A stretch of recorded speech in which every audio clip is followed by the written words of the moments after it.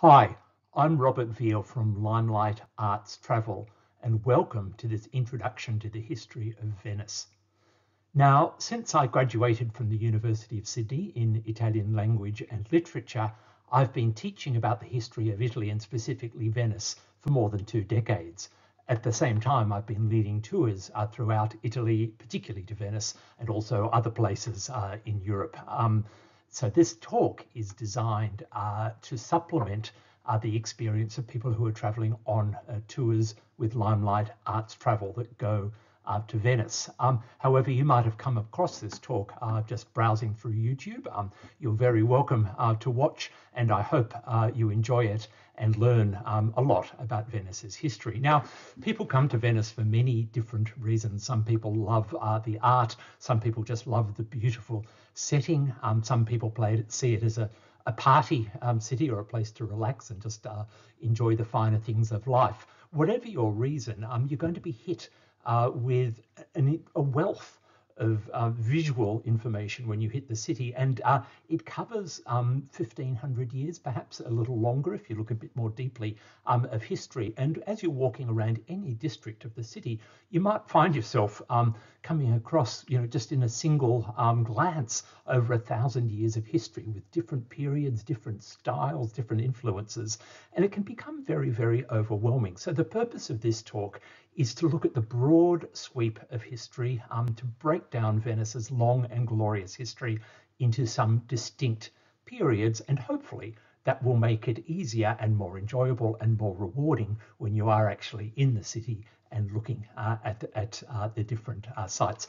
Of course, there are many different ways of looking at Venice and considering its history and enjoying its culture and its heritage. This historical way in is just one way in, and indeed, this talk is supplemented by a number of other more specific talks which cover different periods, specific periods, and also different aspects of the city, such as its painting, its architecture, um, aspects of the mythology of the city. So sit back, um, strap yourselves in because we're going to go through over a thousand years of history rather quickly uh, to give us an overview of the history in this particular period.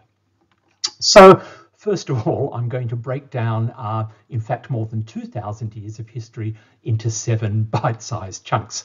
Now, of course, historians love doing this. They love uh, identifying changes that happen over time in the history of a country or a place or a group of people, uh, and identifying and describing those sorts of changes, and then labeling those as different periods in history. Of course, history doesn't unfold in this particular way. People don't wake up one morning and perceive that they are in the Renaissance and everything changes. Historians come along later and put these labels on.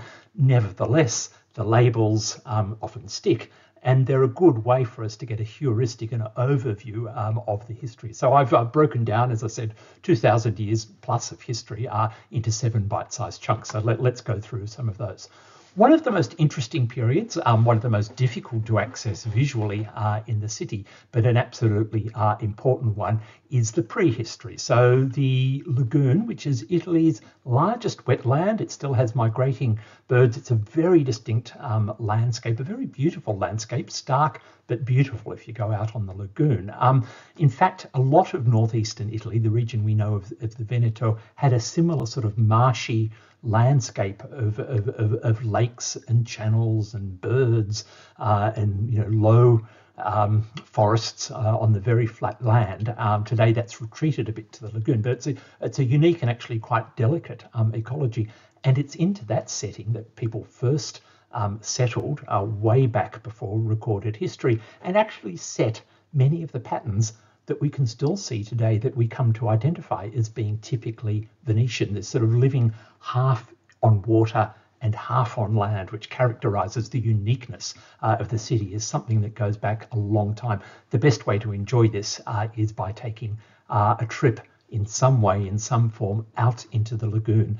Uh, it takes you away from the hustle and the bustle and the crowds of the center of Venice, um, but it also visually takes you back in time and you can see what an unprepossessing, quite harsh uh, environment the lagoon is, and, and how miraculous it is that this glorious city, the head of an empire, a maritime empire, emerges uh, in the lagoon, rises out of the lagoon, as it were.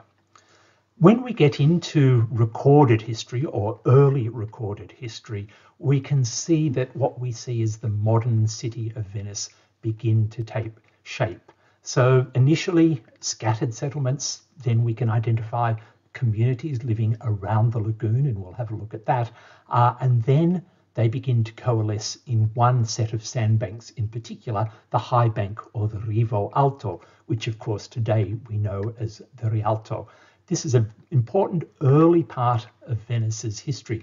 The historical records are there. We have political um, accounts, that is, records of the transactions. We have accounts written by other groups of people who were interacting uh, with the Venetians. So we know something about them, but it's scattered compared to the later history. Of course, Venice wasn't the powerful and important city that it became uh, in this second period that I've identified. Uh, and it is, in a way, um, a period that's full of myths and legends as much as it is recorded factual history. And sometimes, uh, coming from Australia, I liken this period uh, to the dream time for Indigenous uh, Australian um, people, the way that uh, stories, which are sort of partly historical, um, but often there, which are explaining uh, either social phenomenon or natural features and things like that, uh, they begin to emerge uh, as a kind of proto or pre-science of the area. So uh, pay attention to some of the myths uh, in this particular area. It's important, but we actually have, of course, uh, some important physical uh, and material things happening uh, in this period. Uh, so places like the Doge's Palace, St. Mark's Basilica, and other buildings actually begin to emerge um, during this early period. Of vital importance in the city that we see today and underpinning really everything about Venice that makes Venice significant, uh, important, beautiful uh, as a city is this incredible explosion, uh, economic, uh, political explosion that takes place from the beginning of the 11th uh, century right through to the early 16th century. And this is these are the centuries that really put Venice on the map. This is when Venice ventures out from the lagoon, uh, controls uh, the northern Adriatic, eventually the entire Adriatic, and comes to take over all of the trade routes uh, which were previously the preserve of Venice's colleagues uh, the Byzantines based in Constantinople. So as, as Byzantium weakens for a whole range of reasons, Venice rises up. This is when there's terrific technical innovation in shipping, in navigation, in chart making, uh, in commerce, in the way that the Venetians organize and do business, such that during this period, everybody in Europe, which is also undergoing a boom, by the way, at this time, absolutely everybody um, starts to come to Venice. It becomes seen as a good place to do uh, business. Venice, of course, in this time has to change its political structure. All of a sudden, it's gone from being a, a, a set of communities to a city which dominates the lagoon, to a city which dominates the Adriatic and then eventually has a huge, very wealthy maritime empire. So all of the institutions of Venetian government also evolve and emerge uh, in this time. It can be quite tumultuous um, at, at, different at different points uh, in the in the history. Some of the great sort of political stories of Venice's history um, come from this period, but overall, it's a history of remarkably smooth transition, thanks to the unique political structure that Venice has that emerges at this time, which is a mix of monarchy, uh, an oligarchy, and a republic at the stage. In fact, of course, the structure of Venetian society, the political structure, is something which has long fascinated visitors and historians, and that's certainly the subject of a separate talk. We can identify, following this sort of period of enormous um, growth, a period where Venice really begins to assert its power and prestige on the rest of Europe. Uh, and so we can see the dates from about the 1450s uh, through to 1631, which is the last uh, major outbreak break of the plague in Venice. Now, I've used that date 1453. This is when the Ottoman Turks take over Constantinople. So things in the east are changing, and what was Venice's main source of wealth and political power, which was the control of commerce with the East, that begins to change. At the same time, Venice decides that it's going to acquire a land empire, and it does this in the 1420s, 30s, and 40s. This is the area that we know as the Veneto today. So as soon as Venice moves from being a maritime empire to having um, the terraferma, as they call it, it enters into the sphere of Italian and European politics. And so Venice begins to um, use some of the visual style, the Renaissance style, which has uh, emerged in uh, Italy 50 or 60 years earlier, and it begins to project through diplomacy, uh, through building, uh, through artistic patronage, uh, these values. It begins to project these uh, back onto Europe. Um, we see this particularly if we look at the art of Venice in the 16th century. Artists such as uh, Titian, in particular, but Tintoretto and Bellini, these become the leading style uh, in, in Europe. We see industries such as printing, uh, which is enormously important in Venice. Venice really leads the way. Uh, in these ways, Venice imposes itself uh, at first politically, but then culturally on Europe. Um, and even though business is not booming perhaps in the way that it was in those early centuries, um, Venice is really projecting an image or images of great glory um, through its ceremony, through its power, through these displays that it puts on in this period of time. As I said, culturally, it corresponds um, with the European and the Italian Renaissance. So we have a coalescing of the Renaissance style and this particular desire um, by the Venetian state to glorify itself. Uh, that does tend uh, to come to a rather dramatic crash in the 17th century, and there are a few things uh, that bring that about. I mentioned the plague of 1631, um, killing perhaps a third of the city of Venice. Can you imagine what that does uh, to the economy uh, and the society, having that level of depth? At the same time, in Northern Europe, uh, where just the 30 Years' War is getting underway, and this really uh, changes the focus of many of Venice's major trading partners. And Venice itself is fighting a losing battle for its empire. The Turks are becoming more and more militarily, militarily active and aggressive.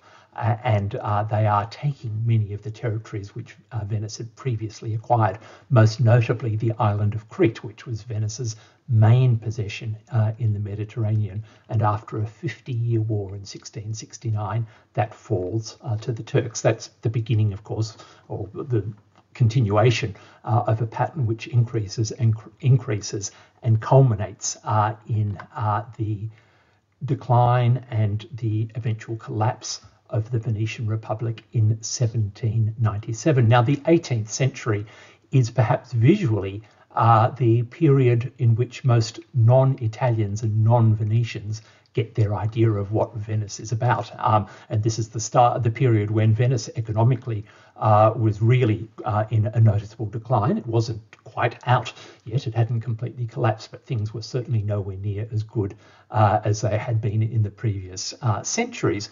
But it's also the time when there's sort of new changes in travel, and particularly the Grand Tour uh, where European aristocrats travelled to Italy ostensibly to uh, find uh, traces of the ancient Roman and, uh, to a lesser extent, the ancient Greek past. Uh, but those grand tourists all seem to pass through Venice and uh, spend considerable amounts of time in what was by now a very famous city.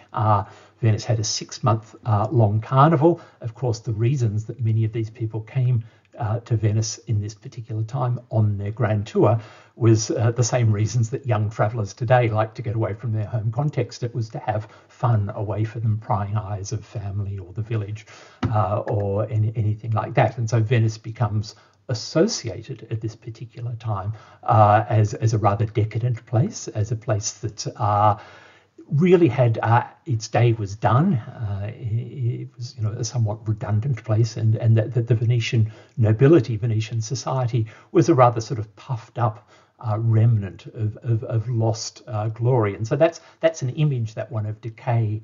Uh, and perhaps uselessness, uh, which has persisted right through to this day. And visually, the, the Rococo style, the gilded uh, floral um, style and florid style of that period is one which people think of as being prototypically alla Veneziana in the Venetian art style.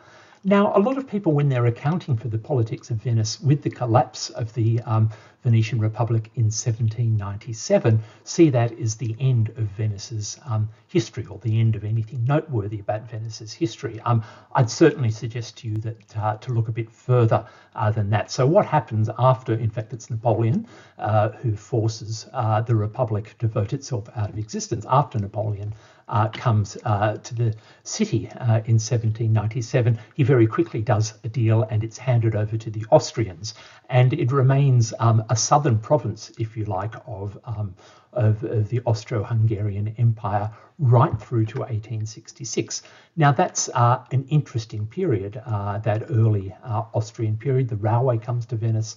Uh, mass tourism begins to arrive. Venice transforms itself. It's no longer a proud independent republic. It's a colony, if you like, um, of, of, of, of, the Austrians. Uh, it invents itself um, as a holiday destination uh, uh initially.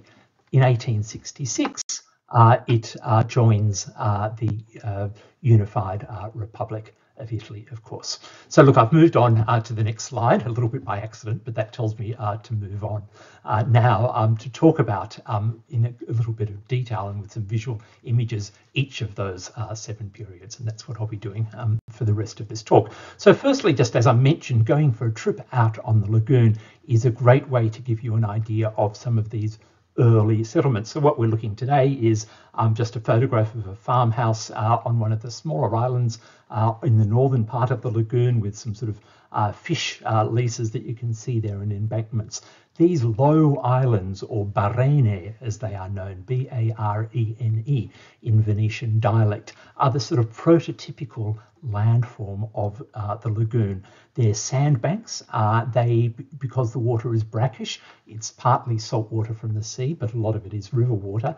Uh, the sand actually drained the water, and uh, if you dug down in the middle of these barene, you could have drinkable uh, water. That was an important uh, resource for people who moved to the area. But you can see still to this very day um, remnants of what was a much older sort of pattern uh, of civilization. So we're looking now uh, at, at, a slide of something which looks a little bit like perhaps what some of the early uh, prehistorical habitations would look like. Um, the general term that's used to describe this civilization by archaeologists is a palla fita. A is like a pile or a, a, a wooden post uh, that's uh, put, as you can see, through the water and into the mud. These were often uh, pieces of timber which had come from the forests and the hills to the north of Venice there, which had been taken down four to six meters uh, into the mud. Uh, they were they were hammered down, and a number of these then provided a foundation which allowed people to live next to the land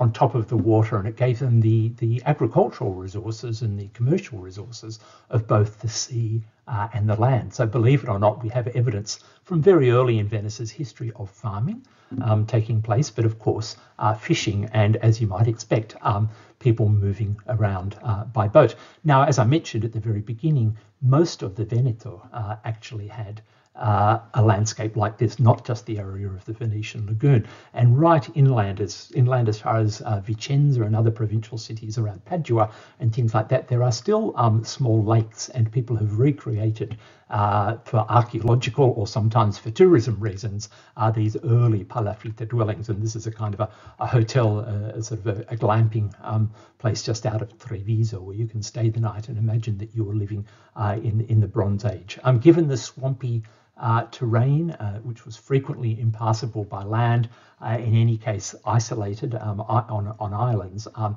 water and moving around on water, of course, becomes uh, the way of moving about. So right from before history, you know, um, a very unique uh, way of living, one, living one's life and a unique relationship with the brackish water of the lagoon, which of course later comes to characterize um, Venice and things which are typical Venetians. We we might extol gondolas today and um, you know those age-old traditions. I guess with a slide like this, I'm trying to point out that they go um, a lot further back uh, than that.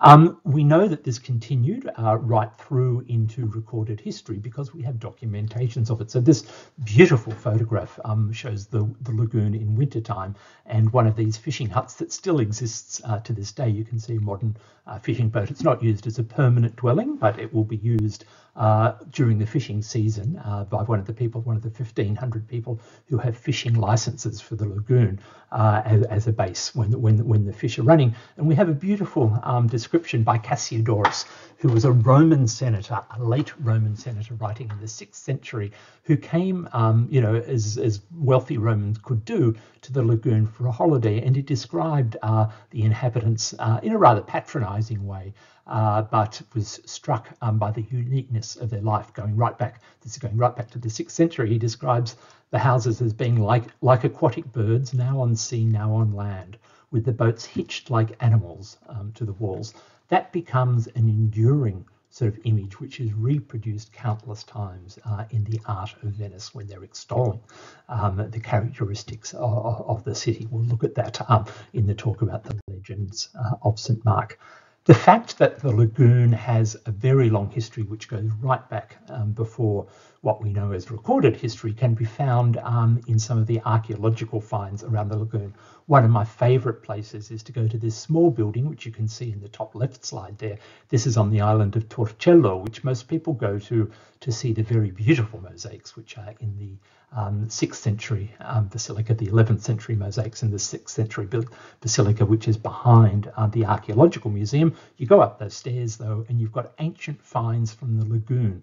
Uh, these are from the islands of the lagoon and the ancient or the archaeological sites that are on the edge of the lagoon. And it's an incredible um, array. We've got Egyptian, we've got Etruscan, uh, we've got um, Minoan and Mycenaean uh, works, uh, as well as sort of more standard Greek uh, and Roman finds as well. What this tells us was, uh, firstly, there was a, a, society here, people living here who were active in trade. They were producing enough things, probably salted fish uh, would have been one of the things, or salt, in fact, from the salt pans, uh, uh, and they were importing uh, luxury goods uh, from other civilizations uh, around the Mediterranean basin. So far from being sort of empty or undiscovered um, before these communities arrived in the 6th or 7th century, the Venetian lagoon in Venice was if not a hive of activity, certainly a, a place where uh, human civilization had left uh, its its mark.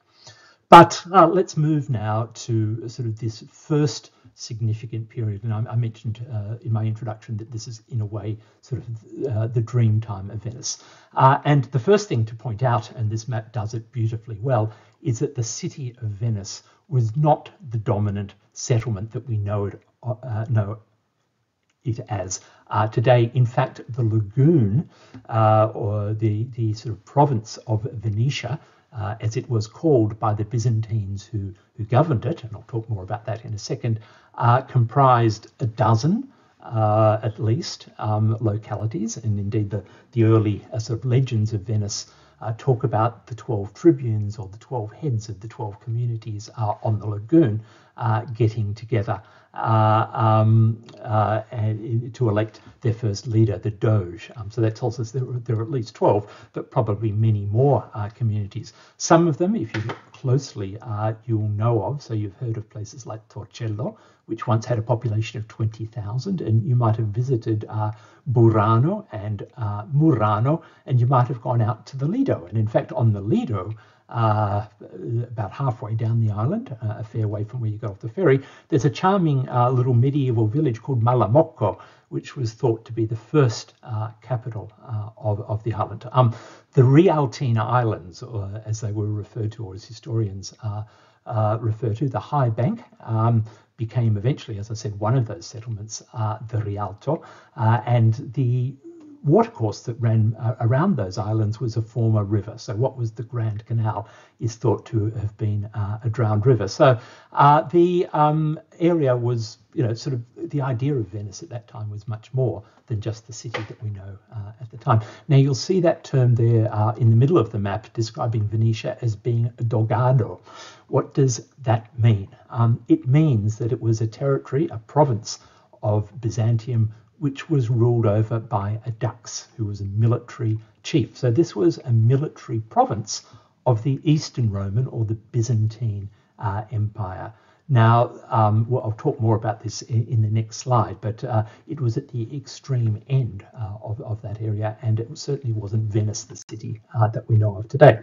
So this map um, then expands, pulls out the focus, if you like, and what we're looking at here uh, is the Byzantine Empire, which changes, of course, uh, its shape. So the Roman Empire uh, in, in the fourth century splits into two: the Roman Empire of the West, based around Rome uh, as its capital uh, and city, and then Constantinople, the city founded by Constant, um, um, Constantine in in the fourth century becomes the head city uh, of uh, the Empire of the East. Now, after Rome in the West collapses, after the Roman Empire collapses in Western Europe, of course, the Byzantine or the uh, Roman Empire in the East persists for another thousand years until 1453. Uh, and uh, the emperors, uh, who are Greek speaking by the stage and eventually sort of practice a different uh, rite to the Roman Catholic rite. Uh, that happens uh, a bit later.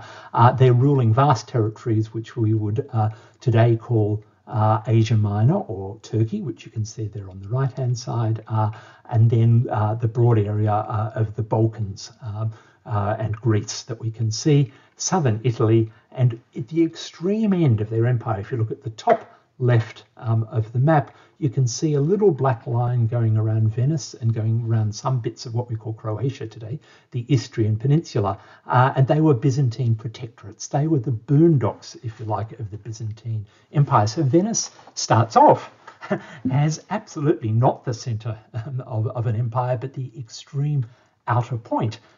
Why are the Byzantines sort of wanting to control it? Well, partly it's military to stop any incursions on, on their empire proper, but also partly it's for trade. And so the Byzantines establish an emporion or a, a trade depot here uh, for goods which have come uh, from what was, after all, the capital of, uh, of empire, at the large city of Constantinople, with all the resources and the things that could be produced uh, which couldn't be produced at that particular time during the Dark Ages uh, in, in Western Europe. So, in order to secure that far border, um, you needed some level of administration and some level of military uh, control, and the Dux, um, who is a Byzantine um, figure. This is important, of course, because the, the Dux is the forerunner of the Doge. And now it's ironic that uh, you know the Venetians very much see the Doge as their own. They see the Doge as a, the result of an almost spontaneous um, election from uh, the lagoon communities. The actual history, of course, um, is a little more complicated uh, than that, but it has its origins uh, in this particular period. I mentioned uh, that the Byzantines came uh, or set up Venice uh, and its settlements um, as emporion, uh, as, as, as, trade. Um, the Venetians themselves, uh, though, played an important role in, in the furtherance of that trade. So, if Byzantium controlled the trade routes and the movement of goods all the way to the extreme end of their uh, empire, it was the Venetians who, during these centuries from the 7th to the 11th centuries in particular, get absolute control of the river trade. Uh, now, the movement of goods, um, the safest way to move goods and the, the most efficient way was to move them um, on water. And of course, you have the Po River, this 400 kilometre long river which moves um, across the top of northern Italy. And at the city of Pavia, um, which you can see uh, there on the left of the map, this was one of the capital cities of the Lombards. Uh, who were a group of people who'd moved in uh, to northern Italy, and they were major trading partners um, for the Byzantines. And it's the Venetians who moved uh, goods up and down the river. So Venice's famous maritime commercial skills are first developed uh, in the river trade uh, in, uh, in, in, in, these early centuries. Venice learnt something else apart from just trading skills. It also had to participate militarily. So, one of the things that we see in the ninth century is a potential commercial rival, Comacchio, which was aligned uh, to the Lombards and then the Franks, the, the people who controlled the lands uh, of, of, northern Italy. Uh, the Venetians knock out, literally burn to the ground, Comacchio uh, in the ninth century. So they're not just using treaties and better prices and, and things like that in order to control. They're not uh, against or not uh, at all opposed to the idea of using military conquest as a way of ensuring economic and permanent economic advantage. So before they venture out into the Mediterranean, which they uh, begin to do in the 11th century, uh, in this early period, they've got control uh, over uh, over that river trade, and that in itself is a really uh, interesting sub-story uh, in, in in Venice's history. Now, as I mentioned, we don't really see much of this period walking around the city uh, to, to, today. You have to go, uh, if you actually want to see material evidence, you have to go to outlying places such as the island of Torcello, which is largely uh, uninhabited today. It's only got a few families who live there and a few lovely restaurants and things like that. Uh, but as you can see, there's been some serious uh, archaeological work uh, undertaken there, and that has found dwellings from, from this period, such as this ninth century site, which shows know, quite sophisticated uh, settlement. We believe a farm settlement with uh, houses which are made of a combination of timber and thatch, but with um, stone basins. They're not unlike if you've seen um, Viking um, sites in, in Northern Europe. The, the architecture is, is, is not dissimilar. So you have to go quite um, a long way from the centre of Venice often to see the material evidence. But one thing that I will say that you do encounter almost on a daily basis from this period is the classic urban form of Venice of the square or the campo, as they call it, a field, because it did have grass and animals would have been on this field, uh, which will have a well uh, in the middle of it, a well head, um, a parish church uh, on the island, and an embankment.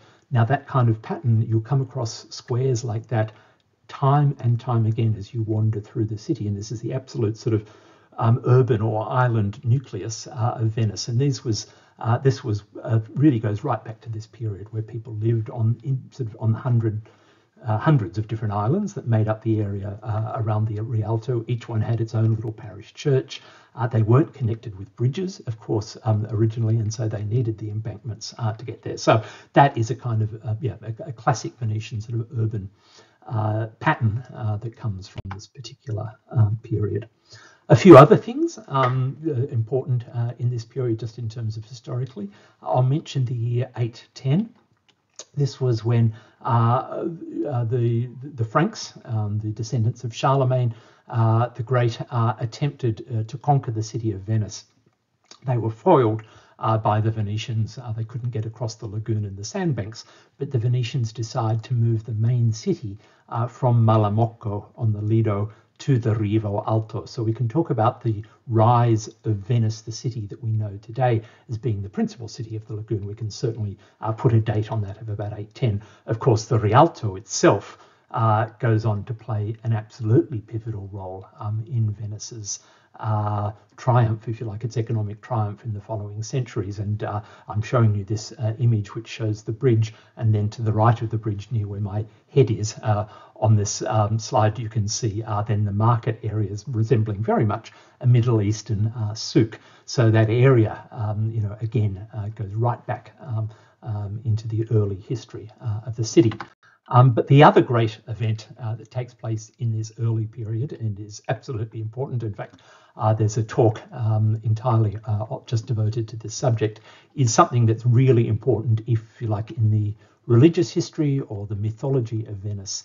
And that's, let's shall we call it, the translation uh, of the body of St. Mark from Alexandria to Venice. That word translation uh, is uh, a word that's used by religious scholars uh, to describe uh, the movement uh, of saints' relics um, as if by the will of God. So they're not stolen or removed, uh, they're translated. So you might know the story of the house of the Virgin Mary, which comes flies um, to Loreto in, uh, in, Italy. That's a good example of translation. Well, the, the way that the Venetians build up um, the legend of St. Mark and the mythology of St. Mark is to say that it's the will of God that wanted uh, this great relic, uh, one of the four evangelists, to lie in Venice rather than in Alexandria. And so in the year 828, um, two uh, Venetian merchants, who you can see both in the mosaic but also in the painting by Tintoretto uh, on the right, do manage to spirit away uh, the body from Alexandria and it's brought uh, to Venice. Uh, and this begins uh, the great cult of the patron saint of Venice, St. Mark, who comes for the Venetians to rival um, Jesus Christ. Uh, so it is an historical event uh, that takes place in the period. It's terrifically important in the mythology of the city and in the city's self image, giving it almost a religious in, imprimatur to become the important city uh, that it becomes. But once again, uh, Venetians, when they're writing their history, put this back uh, into this dream time period, if you like. And so the year 828 is important. The first of the basilicas, the first of the shrines uh, to this saint, uh, is erected in 832. And it's about a century and a half later that we see the construction of the magnificent basilica that we see today, one of the prime uh, landmarks, of course, of the city.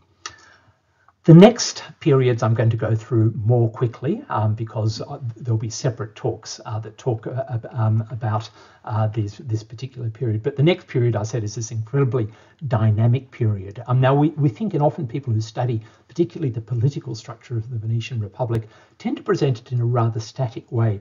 And we forget very often that it was emerging dynamically, very fluidly as Venice um, rapidly expanded and became hugely wealthy um, during this period. So there can be no doubt by the time we get, say, say, to the middle of the 1300s, that Venice is the economically the most dynamic city. Fortunes are being made literally overnight by the trading families, and you know we've got generational wealth uh, by this stage, which is being locked in um, to these few hundred families, which form the patriciate, the nobility um, of, Venice, but are engaged in commerce at the same time. So it's it's it's a nobility unlike any other European um, nobility.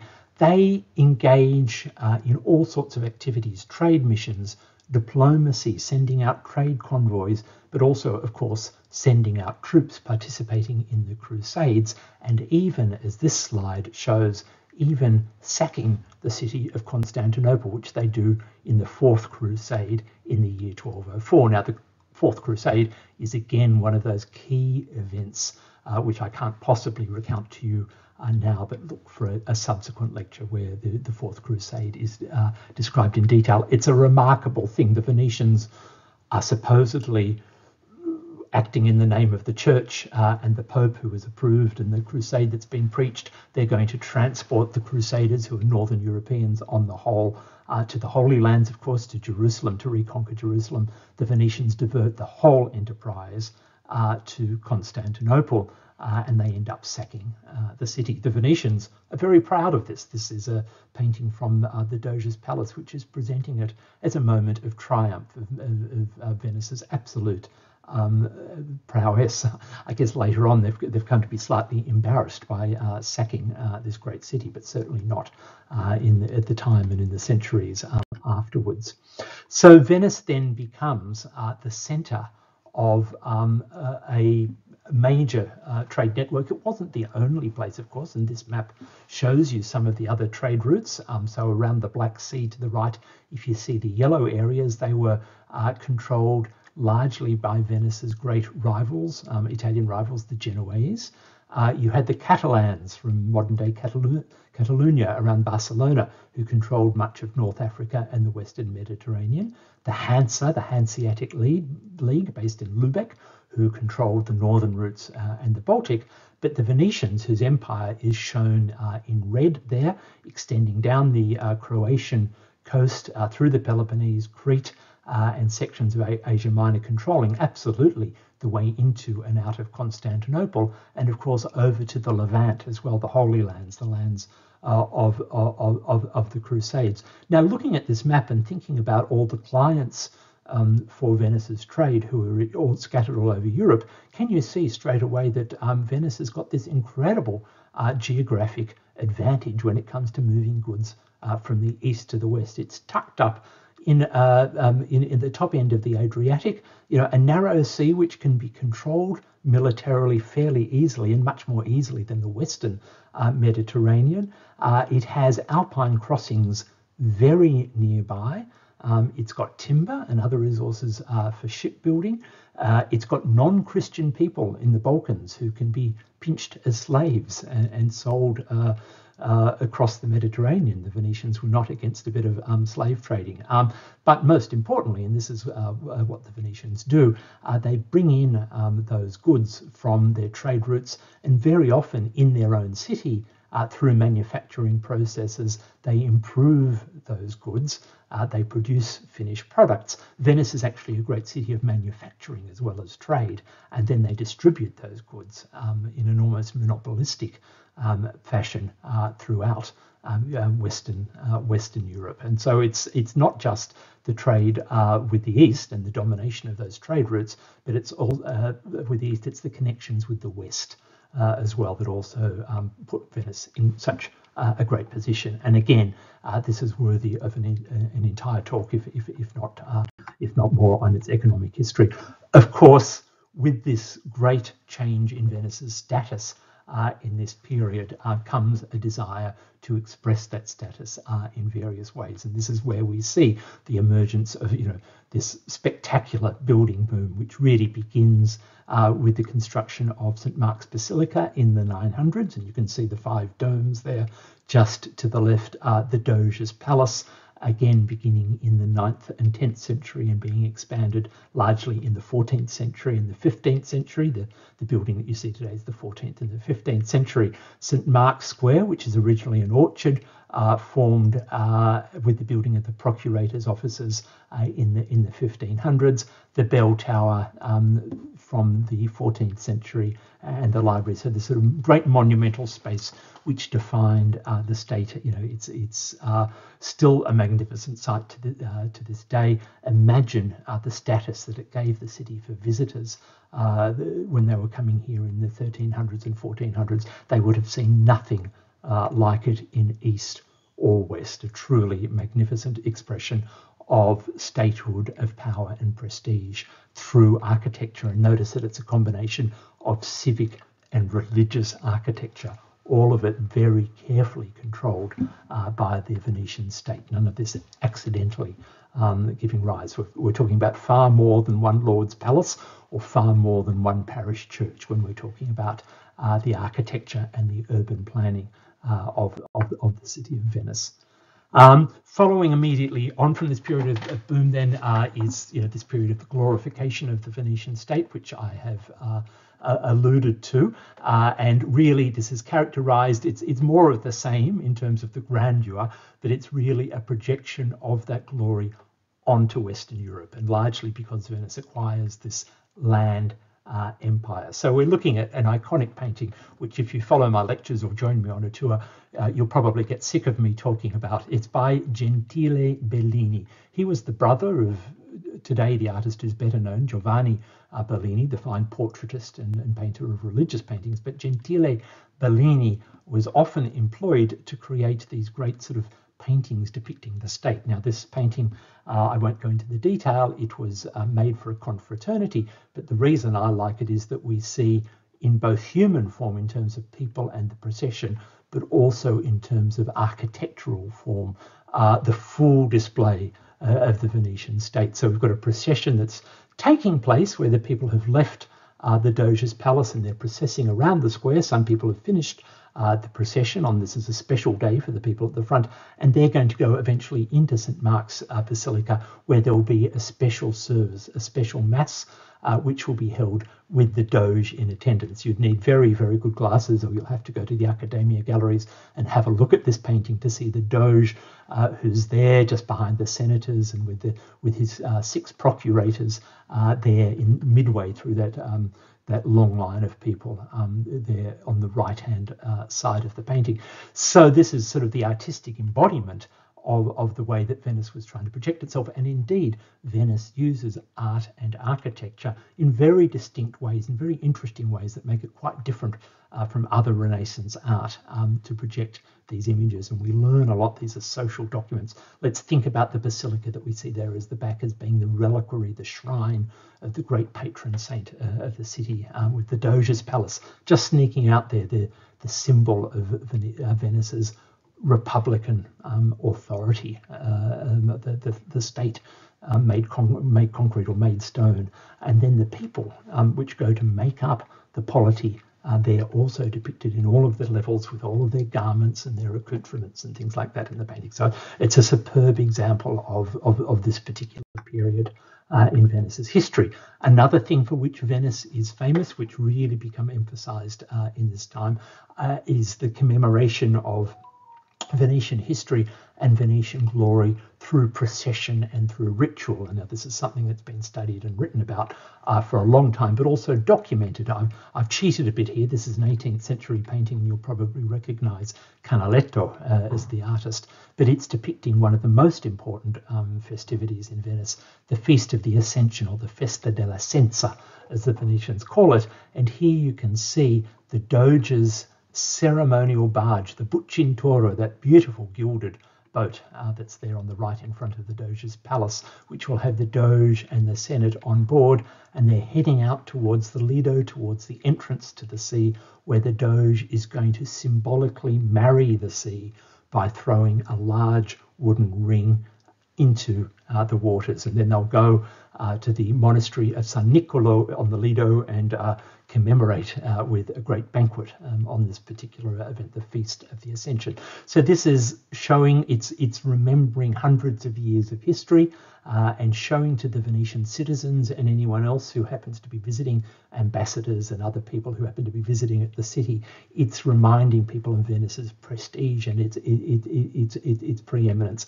It's just one of dozens of ceremonies. Of course, if you visit the city today, you'll see many of these things are uh, remembered the Feast of the Redentore, um, which is a commemoration of Venice surviving the plague in 1576. This takes place in July.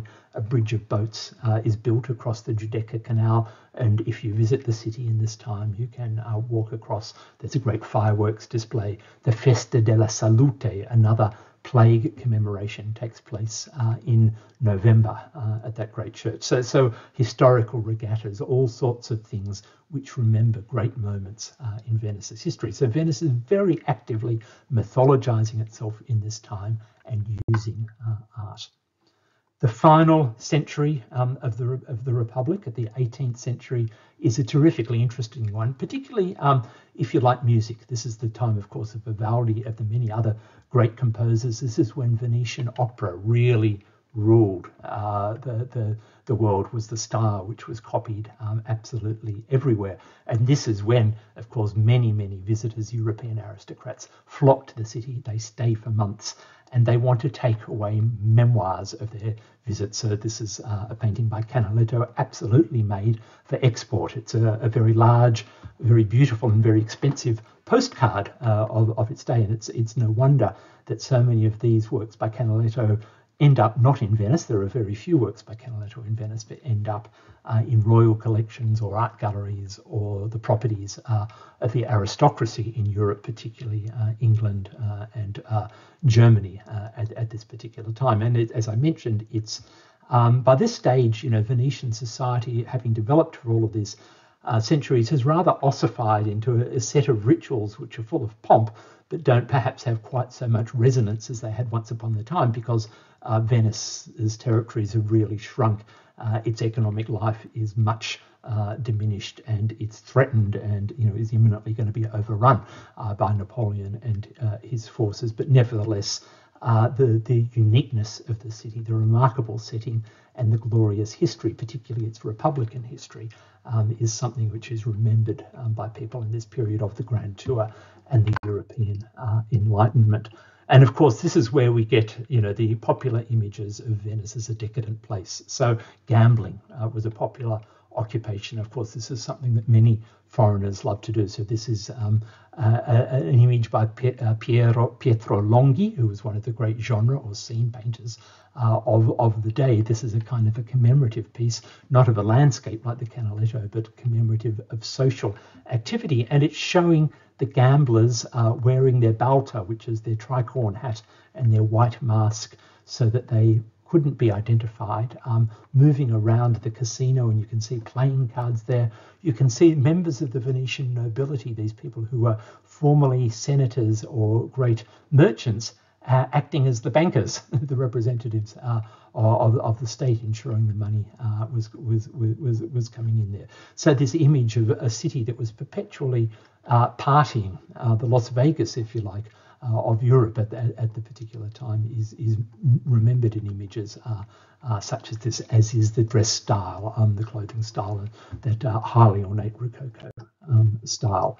Uh, and again, if you're into music, um, this was where, if you were a visitor, uh, you could come to places uh, such as this, which was an orphanage, uh, a female orphanage, and hear the putte, the the terrifically talented uh, female singers or musicians who would entertain you, who would entertain visitors uh, in weekly concerts in what were the first subscription concerts in music uh, history in these institutions, public concerts where you could buy tickets to the whole series. Um, composers such as Vivaldi and others had to come up with new works every week um, for the concerts. And if you were in Venice for several months, you would make it a ritual by attending these uh, on um, a regular basis. So, so again, another sort of persistent, if you like, image of Venice, which comes from this particular period, is, is that of Venice uh, and musical performance and public musical performance rather than private or religious um, musical performance.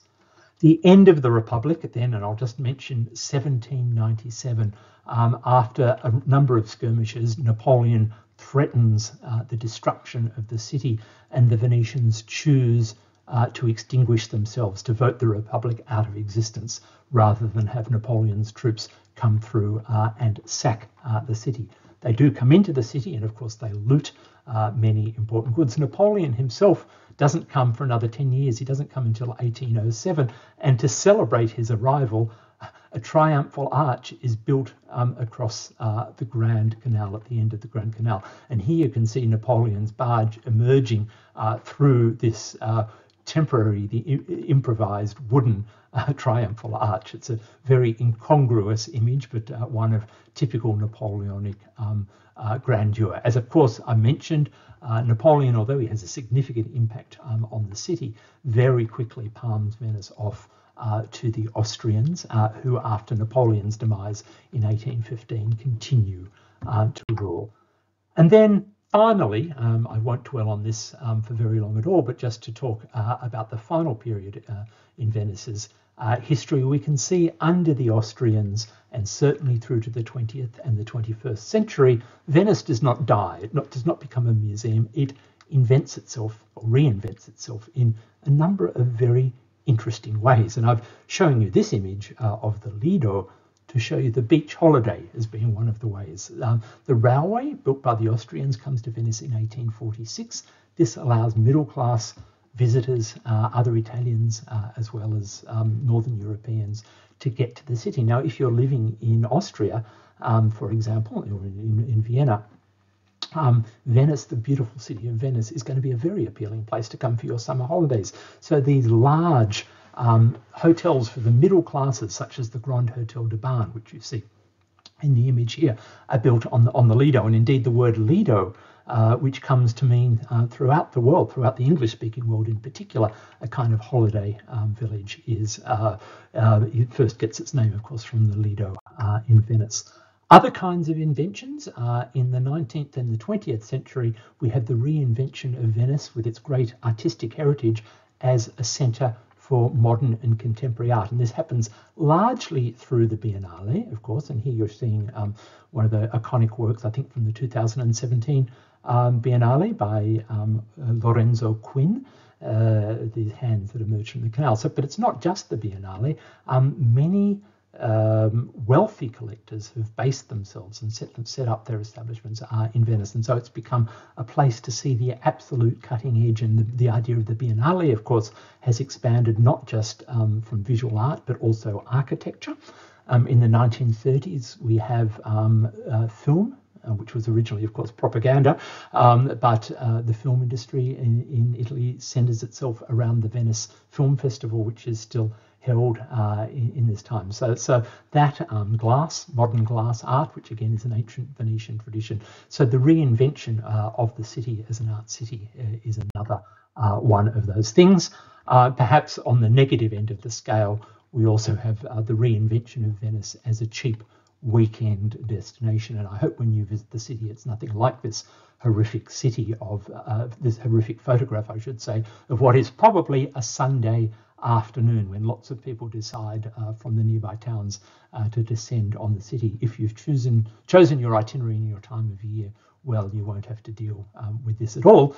But uh, yes, uh, the reinvention of the city is a destination uh, for mass tourism is something which is now being actively resisted, and uh, thank goodness um, steps are being taken uh, before it all um, uh, is is too late. So I'll finish the slide with a couple of key dates. There won't be a test on this if you're joining me on a tour, um, but just some key dates to keep in mind. 18, 828, I should say, the theft of the body of St Mark. 1000 military control of the Adriatic. Venice goes from being a river trader to being a, an ocean trader. 1204, the Fourth Crusade, Venice takes and sacks the city of Constantinople. The Doges declare themselves successors of the Roman empires of the East. 1310, uh, uh, an attempted coup uh, by Bajamonte Tiepolo and his supporters sees a complete reformation of uh, the Venetian political structure, and particularly the Council of Ten, the much feared Council of Ten, the social security uh, enforcers of the Venetian state. 1571, the Battle of Lepanto, this great battle that took place um, in the southern part of the Adriatic. Venetian ships, um, Austrian ships, papal troops are defeating uh, in what was the largest naval battle of all time to that point, some 400 ships temporary halt, temporarily halting the progress uh, of, of, the expanding um, Turkish uh, empire. 1630, the last major outbreak of the plague in Venice, and really um, the, and the, marking an acceleration in the economic and social decline of the city. Uh, 1797, this tumultuous date where the Republic uh, comes to an end. 1866 uh, becoming part of unified Italy there. So a few dates there uh, to take you through um, all of those um, different periods. And then 1966 and 2019 uh, periods uh, of major floods. And now perhaps uh, the greatest challenge, apart from over tourism for the city, um, is environmental change. So thank you very much um, for tuning in. I hope you have found that uh, an enlightening and interesting uh, introduction, a sweep, if you like, through Venice's history. Other presentations are much shorter and much more modest uh, in this in their scope. Um, perhaps you've taken several um, bites of the cherry and, and, listened to this presentation in several times. So thank you for listening, and I hope to join you, or I hope to see you or hear you um, at uh, other sessions in Limelight Arts Travels lecture series.